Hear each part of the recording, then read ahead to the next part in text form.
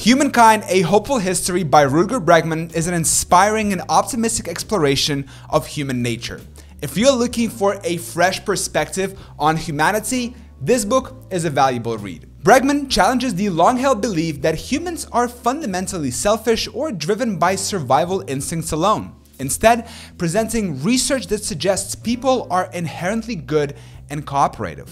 He built a case that Throughout history, humans have thrived not because of individualistic competition, but because of kindness, empathy, and a strong sense of community. Now, one of the book's key takeaways is the benevolent view of human nature.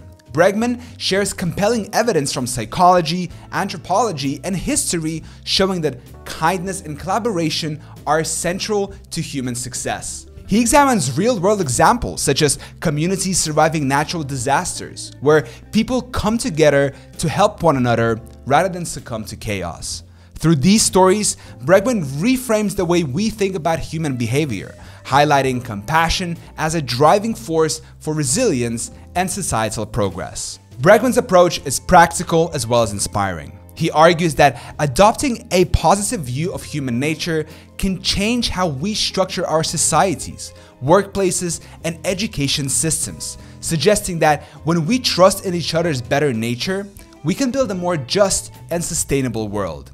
This philosophy isn't just idealistic, it's backed by science and challenges traditional notions of humanity. Overall, Humankind provides a refreshing outlook on what it means to be human encouraging readers to believe in and promote the good in others. It's a thought-provoking read for anyone interested in psychology, sociology, or personal growth.